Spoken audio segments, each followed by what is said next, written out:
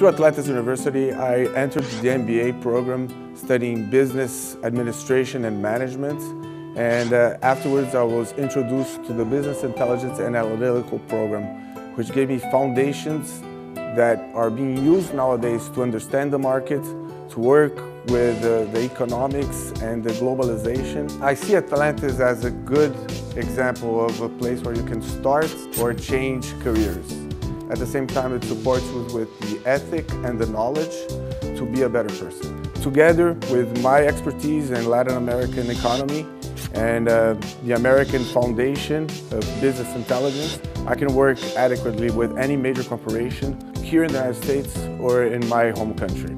In Atlantis University, you'll expect to find people from all over the world. A melting pot of different cultural backgrounds which help you understand about a better function of the globalization world that we live today.